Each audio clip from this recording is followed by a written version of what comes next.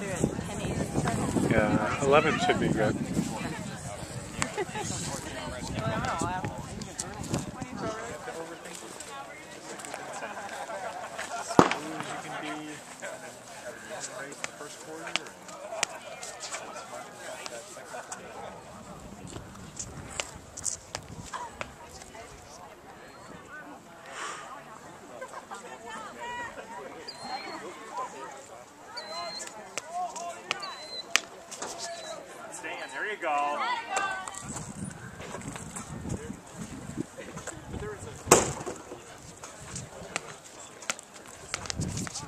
Currently running about 15 minutes behind the time schedule. That's down traffic to the 400 dash.